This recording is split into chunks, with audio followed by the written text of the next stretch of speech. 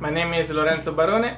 Many of you started to follow me on my social media in the past few months because I've been living and cycling in the eastern part of Russia, in the region of Sakha Yakutia, but uh, most of you doesn't know my story. So today I will share it with you. When I was a child I was a little bit active.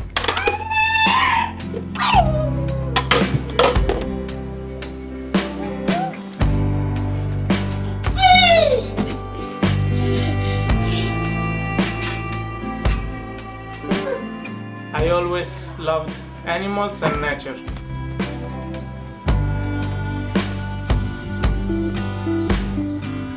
Thanks to my family, I had the opportunity to travel around the world.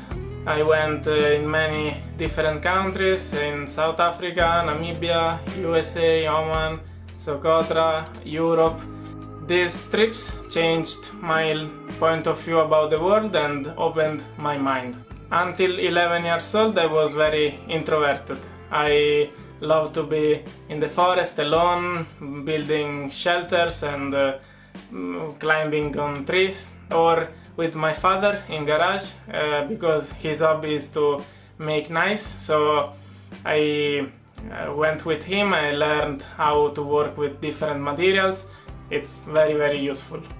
During my life, I've been in seven different schools and uh, I hated them all. It was not for me. Uh, I always felt very closed and uh, stressed. I loved always to be outside with the sky and uh, open space. But Because of that, I was not the best student ever. Adesso ragazzi proseguite sul lavoro adesso Io From 11 years old, I started to train parkour, and thanks to it, I became more social. I trained with a group of guys, we were always together in the city, running, jumping from roofs. It was an amazing period of my life that I will never forget.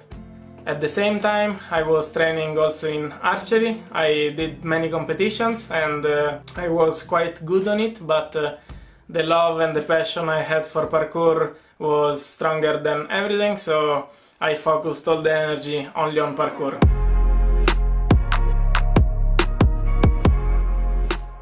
After parkour, I trained one year. I did calisthenics. It was uh, the way to uh, release my stress, and uh, I trained on it every day. I became bigger and bigger and bigger and bigger.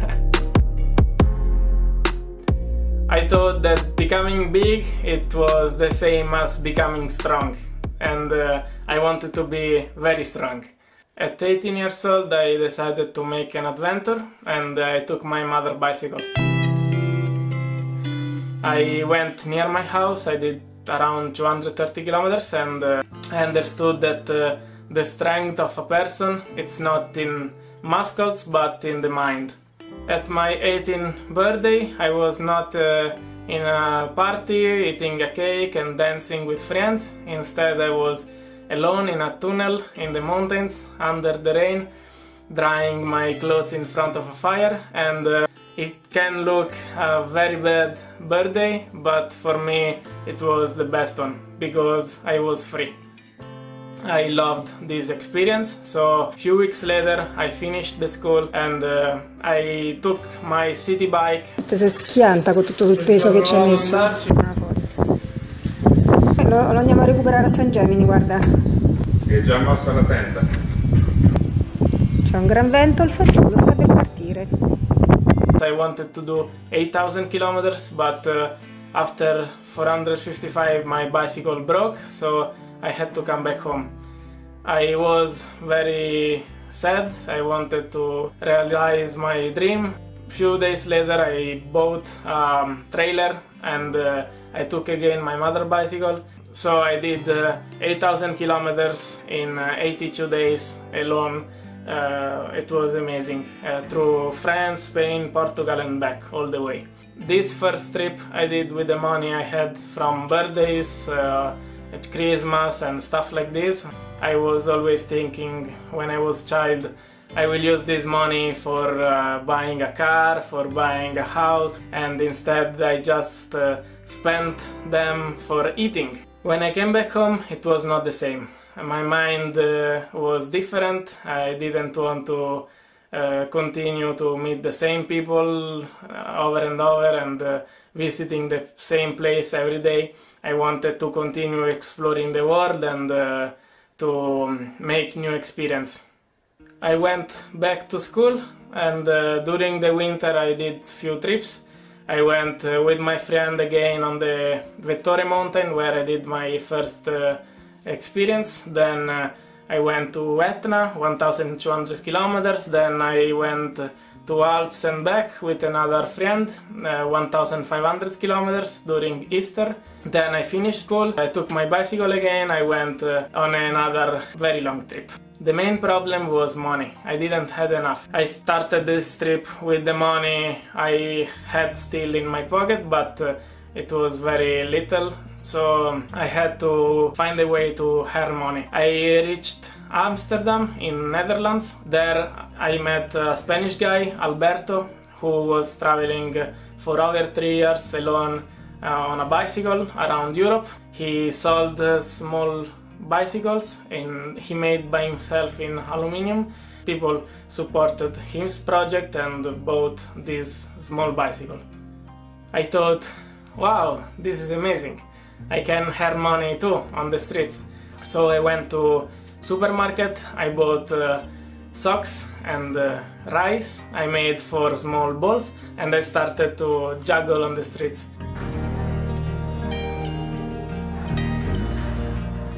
With uh, Alberto, we cycled from Amsterdam to Berlin. We stopped in every city. He sold bicycles. I juggled in two different places of the street. When I reached Berlin, my bicycle was falling apart, so I bought new one and uh, I left my mother bicycle completely broken. With the new bicycle, I didn't have limits anymore. So I cycled to Denmark and uh, I took a ferry to Iceland, one of the best places I ever been. It was really incredible, amazing. I did all the tour of Iceland by bicycle. Then I came back to Denmark. I took another ferry to the south of Norway and uh, I cycled all the way through Norway, Sweden, Finland until Norway. E ancora è caldo, è caldo! Il freddo deve arrivare! I reached Nordkapp 6 December 2016 in almost full darkness. It was a polar night, the sun didn't rise anymore. And from there, I cycled all the way south to my house through Finland, Estonia, Lithuania, Poland.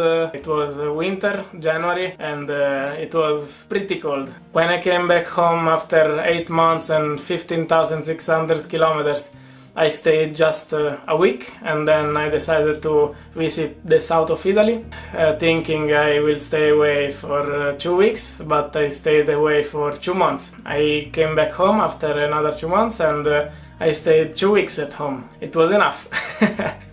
so I took the bicycle again, I went to Berlin again, then from Berlin to Turkey, I made a tour of um, Turkey, and then from Istanbul I cycled again all the way to St. Petersburg. I was very tired, I was not motivated anymore, it was almost like a routine.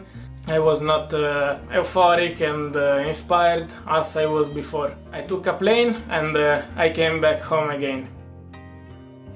When I came back home, I was not uh, motivated anymore to travel by bicycle, but um, then I thought maybe I just have to change the way uh, of traveling. I decided to make the trips a little bit more difficult. I wanted to do trips by bicycle on another way from which I would learn something new. So the 8th of January 2018 I took a plane and from Bishkek I cycled uh, 2200 kilometers until I reached Dushanbe and I crossed a plateau over 4000 meters. It was full winter and in internet I didn't found any information about this trip during January or February so uh, I didn't know what to expect, and it was amazing for me to to see uh, step by step the road, the places, and uh, to reach the highest pass, the Akbaital, over 4,600 uh, meters. So it was an incredible experience, and I understood that uh, to be happy and motivated every day, I had to change just the way to travel and not uh, to leave the bicycle. But uh, when I came back home, I didn't know what to do. It was the end of winter and uh, I didn't had any um, dream in my mind to realize. So I said, well, let's try to uh, do something different. Anyway, I want to try to hitchhike and walk.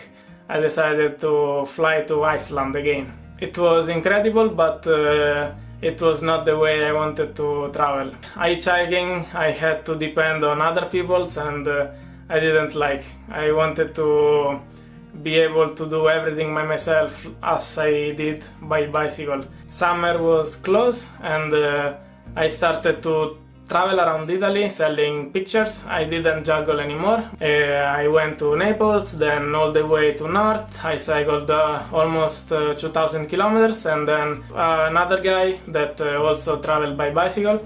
He wanted to do a record of uh, triathlon and he asked me can you come to the north of Norway and row on, on a boat, on a rubber boat near me to support me?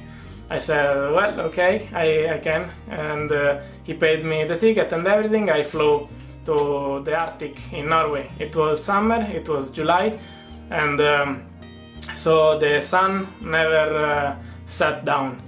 Uh, it was the same area I traveled by bicycle in winter in full darkness so it was completely different. I saw two different aspects of um, the north of Europe, and uh, it was incredible. After a month rowing in the ocean, I decided to train again on a bicycle. I started to cycle all the passes of the Alps.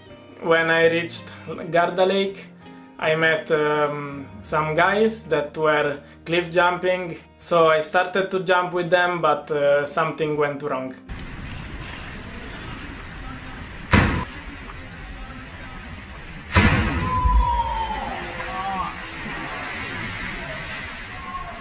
I had a huge impact on the water and my head practically went to my chest.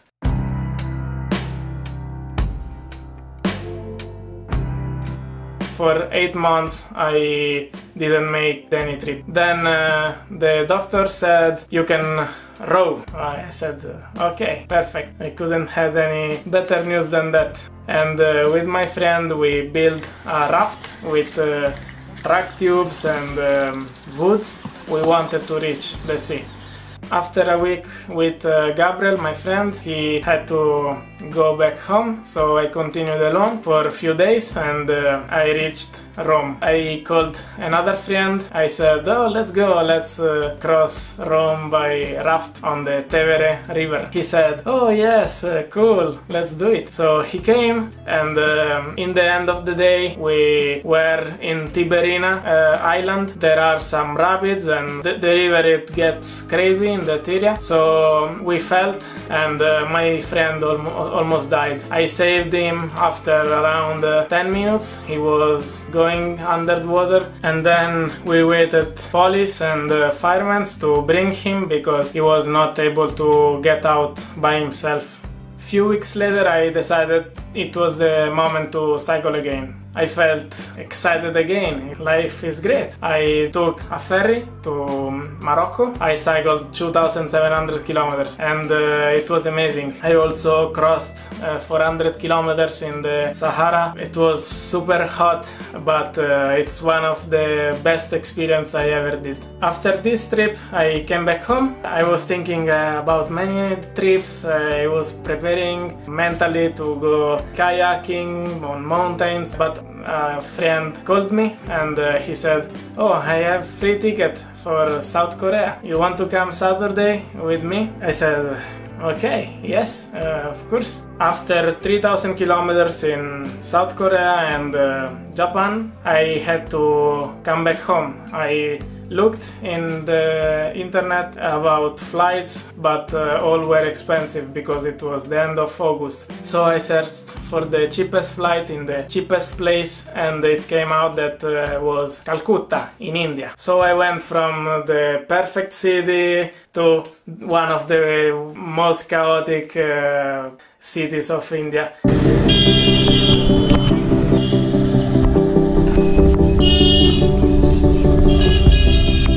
I cycled all the north of India and then I went to Ladakh. Sono ufficialmente in Himalaya. It was uh, one of my dreams to go there and I was finally living it. I started to cycle all the passes over 4000 over 5000 meters. It was amazing. You can just see from pictures and videos.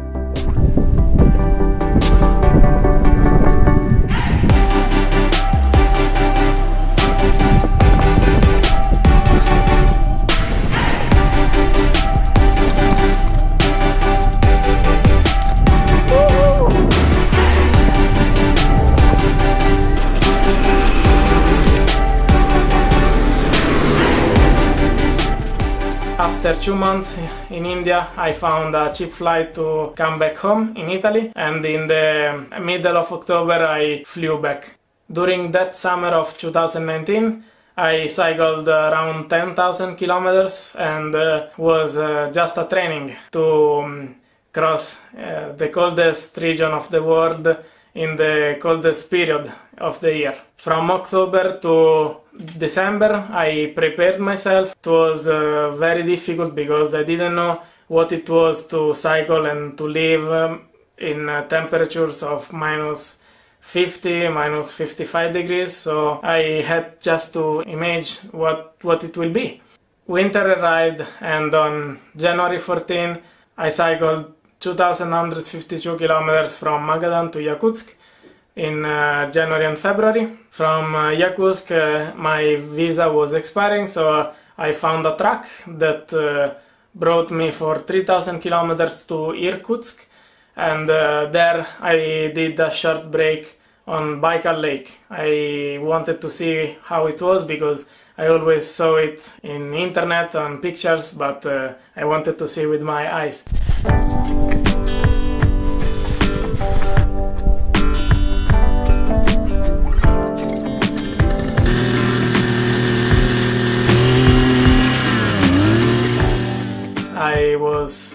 Talking with a girl in uh, uh, Instagram.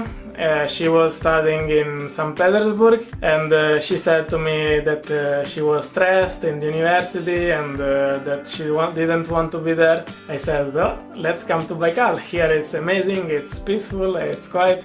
But she was 7,000 kilometers away from me, so it was just a joke. Now she's there. but she thought that uh, it was not a joke. So a few days later, I found her in Irkutsk. it was mm, kinda not really normal meeting. we reached this small village on the coast of Baikal Lake, and uh, we immediately heard the speaker saying that there was lockdown and uh, problems so we had to come back on the um, previous village which was 70 kilometers away. We walked for three days and uh, then uh, when we arrived we understood that uh, my visa was prolonged and uh, that uh, borders of russia and europe were closed. So i decided to leave my bicycle in this village in a family house and uh, to fly with Aigul to Pokrovsky. It's a small village located on the coast of Lena River near Yakutsk, the coldest city in the world. We stayed there all the spring, all the summer, and then I went with Aigul back to Irkutsk to take my bicycle, and I discovered that uh, my visa was prolonged. I said to her, "You maybe can take a, a plane, and uh, I will cycle back." She said, "Oh, okay, yes." she took a plane, and I cycled uh, these 3,050 something kilometers uh, back.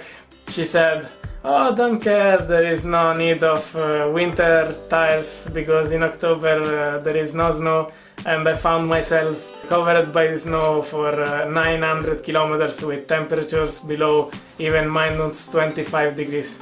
It was autumn, uh, the winter, the real winter was close and uh, I wanted to use this period uh, to the fullest, to, to make another, another adventure, to live again the experience I had uh, the winter uh, before. Temperatures day by day they were getting lower and lower and lower. Some people told me it was the coldest winter of the past 30 35 years. I couldn't cycle in that cold, it was always minus 50, 55, 60 degrees. Uh, it was too much. Uh, it was not possible, or at least I was not able to, to cycle in that cold. This February 2021, I decided to try the trip again, and uh, I cycled from Pokrovsk to Yurung-Khaya. Uh, it's the northernmost uh, road in the world, and for what I know, no one ever did it. But doesn't change anything because if I am the first, or if I am the second or third or the last one in the world, doesn't matter. The trip was amazing by itself. Ah, and I forgot to say one thing.